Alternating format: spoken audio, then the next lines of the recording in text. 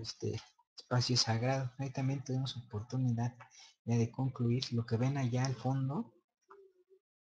A la izquierda, pues fue un señor, este, y tuvimos oportunidad de conocerlo, este, vendía, eh, bueno, vendía pulque, vendía curados muy ricos. yo luego me pongo a sembrar y saco pie, figuritas y demás. Entonces nos enseñó alguna, nos tomamos un pulque y nos llevó a su casa. Estaba acá en esta, en este montículo. Ah, sorpresa que este montículo es una pirámide. Tenemos oportunidad de entrar este, en la parte profunda. Eh, de hecho, es prácticamente una aventura este, que eh, sí nos marcó. estuvimos a punto de que se nos cayera encima una. se derrumbara, pero es impresionante. Estos terrenos son ejidales, este, y pues bueno, se requiere eh, autorización ¿no? de los este, habitantes para ingresar, pues esto es propiedad este, de ellos, ¿no? Por eso pues no está abierto hacia el público, sin embargo, pues se dieron las circunstancias y, debemos también aprovechar para pues, compartir. Imagínense tener su casa encima de una pirámide. Impresión, ¿no? Pero bueno, con esto eh, vamos a, a dar un recorrido, este dura un video en 15 minutos, que va a ser interesante. Este, ahorita nos faltan por esta emisión como 25 minutos aproximadamente. Así que, pues vamos a, a comentar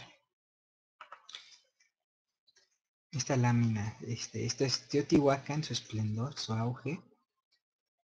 Ya vimos el significado de Teotihuacán, lugar donde hay divinidad. No es el lugar donde se hacen noticias, sino es el lugar donde hay divinidad. De Teo divino, Wa que posee Can lugar. Lugar donde hay divinidad o que posee divinidad. Entonces, esto que estamos viendo también es la obra negra, está toda cubierta de rojo. No es este, bueno, Tamuanchan, no es Chico, Chico Mosto, Tampoco eso el tamaño el árbol torcido. Dios tampoco es esta imagen de Dios, ¿no? Ni aquí se adoraban dioses múltiples ni nada. Vamos a ver especificaciones. En sus murales, que van más allá de interpretaciones y, de discursos. Vamos a ver los murales, lo que hay ahí, lo que nos dice Teotihuacán y se van a ir de espaldas. Entonces, eh, este es de Chicomosta, que este es siete este, tribus que no hay registros. Esto también es un mito como el de Aztlán. Eh, también nos remita de dónde está ese origen profundo que está en nuestra mente, en, las siete cavidades que tenemos en nuestra, en nuestra cabecita. Entonces, los teotihuacanos obviamente tenían esta base, esta conexión este, con los nahuas, que los nahuas ya vimos la clasificación ¿no? que hay, esto de postrésico, pero este, vienen de esta eh, este linaje, por así este, denominarlo, ¿no? que se encuentra desde el trópico de eh, Cáncer hasta las tierras de Costa Rica, que fue la extensión que tuvo Teotihuacán. Ahora bien, nos quedamos en este eh, proceso, ¿no? En, este, en estas láminas y vimos este, cómo se fue la expansión de Teotihuacán en este periodo clásico vemos este mapa y, también como de forma paralela mientras eh, los olmecas y bueno como ancestros este en Tahuantinsuyu se correspondían también con estas ocupaciones en la ciudad que es de hecho la más antigua Caral y los tetihuacanos se tuvieron paralelo en la época en el espacio y tiempo a los a la cultura mochi también con construcciones muy semejantes.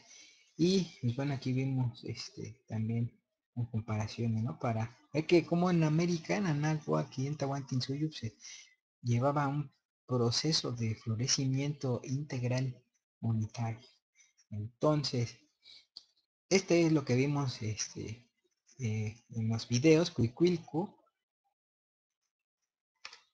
Esta es una reconstrucción de esos modelos así se es lo que han registrado y esa plataforma circular bueno esa es esa construcción estaba orientada también astronómicamente y se alcanza a ver este, todo el cubierto de, este, de lava y pues cómo se ha ido escarbando ¿no? para sacar esta pirámide circular. Ahora bien, esta es una representación de te dejo eh, en la cual se muestra la plaza cómo estaban las construcciones piramidales y acá en la parte posterior perdón el y acá está la Jusco y pues cómo fue el proceso de la erupción ¿no? para tener eh, una idea y aquí pues ya se puede ver descendieron los ríos de lava cubrieron la ciudad y terminó sepultada como Pompeya esta así denominada en agua, no se sabe cómo se llamaba, no sabe qué escribía, pero los únicos vestigios, lo que sobrevivió a sobrevivir, son eh, estas piezas que hemos visto, esculturas, vasos, eh, esta es una reconstrucción también. Mucho. Muy probable que Huicuilco, llamada así, no fuera así, sino que también tuviera pigmento vivo, como era característico prácticamente todas, todas las pirámides en agua. Actualmente se encuentra así una zona de reserva, eh, ha sido invadida por la mancha urbana, se pueden ver edificios por ahí no sé unos cuantos metros de esta zona. Sin embargo, eh, es un sitio mágico que tiempos recientes ha sido eh, retomado para realizar eh, rituales, ceremonias, conmemoraciones. Eh, aquí tanto gente de New Age, de tradición, investigadores concluyen, turistas, de gente de buen espíritu, viene a tomar un momento de paz, un momento de alivio hasta aquí con las presentaciones nos vamos a ir con un video de eh, ese History Channel. Eh, está muy, muy bueno. Eh, tiene en la segunda parte que veremos en nuestra tercera emisión, hay alguna precisión, ustedes se van a dar cuenta cuál va a ser, pero lo que es la primera, muy interesante. Así que vamos con él y comentaremos también algunas cosas al respecto. Este es eh, Pirámides de Teotihuacán. Si lo pueden buscar en, este, en YouTube. Ahorita este, va a iniciar, así que atentos. 15 minutos.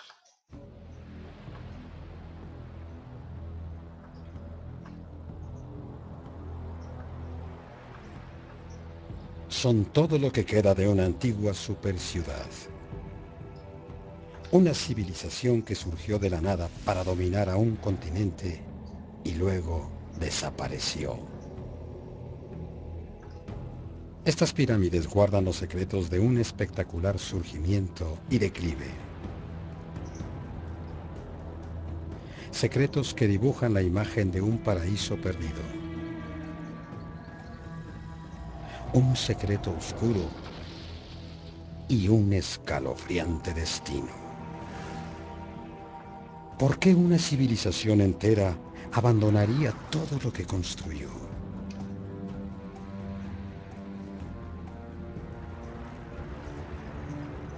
Después de siglos de silencio, las pirámides de Teotihuacán tienen una historia que contar.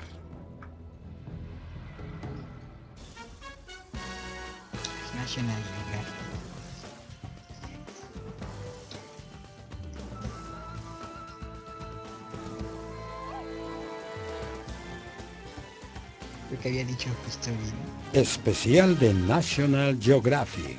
National Geographic. Pirámides de la muerte. Ahí está mal el nombre, pero vamos a ver.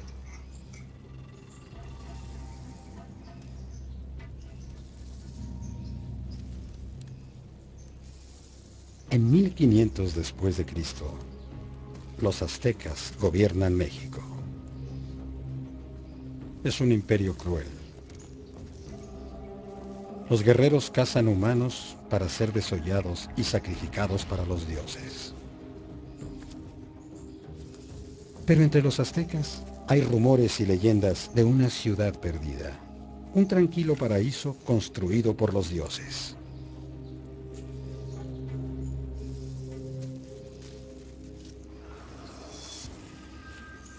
Un día, el mito se vuelve realidad. Los aztecas tienen una visión de otro mundo, de otro tiempo. Una ciudad fantástica, una ciudad de pirámides. La ciudad en ruinas es tan enorme que los aztecas creen que es el lugar más sagrado del universo. La llamaron Teotihuacán, el lugar de los dioses.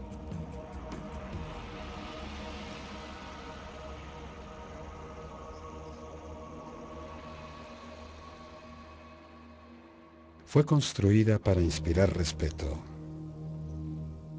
Es un cuadriculado perfecto de largas avenidas y enormes pirámides. 20 kilómetros cuadrados de construcciones de piedra un área más grande que la Roma imperial. Los aztecas llamaron al bulevar central Avenida de los Muertos, y a las dos pirámides más grandes les dieron nombres de cuerpos celestes, la pirámide del Sol y la pirámide de la Luna. Desde su nacimiento alrededor del siglo I después de Cristo hasta su caída casi siete siglos después, Teotihuacán fue la ciudad más grande del hemisferio occidental. Los aztecas no saben quién construyó la ciudad o por qué fue abandonada y hasta el día de hoy es un enigma desconcertante. Algo terrible debió pasar aquí para convertir una metrópolis floreciente en un pueblo fantasma.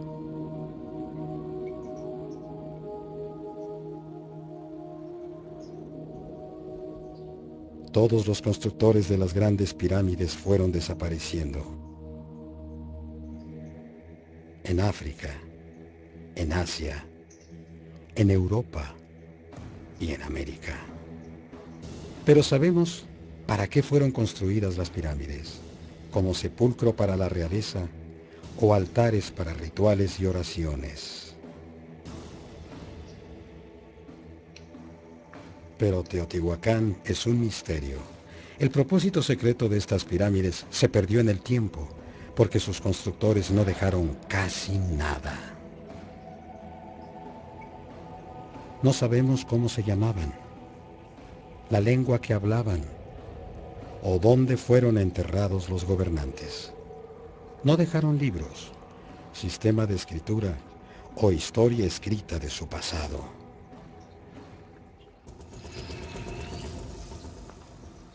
Durante casi un siglo, los arqueólogos han estado reuniendo pistas.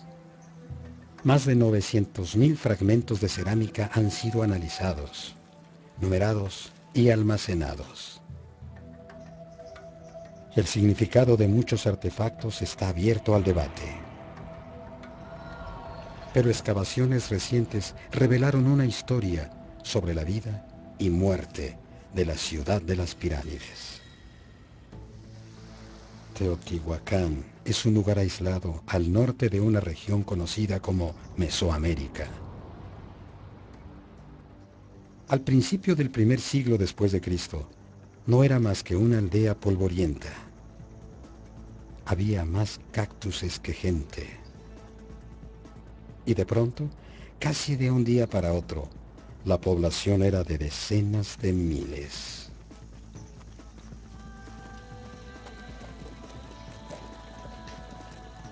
¿Cómo fue que este polvoso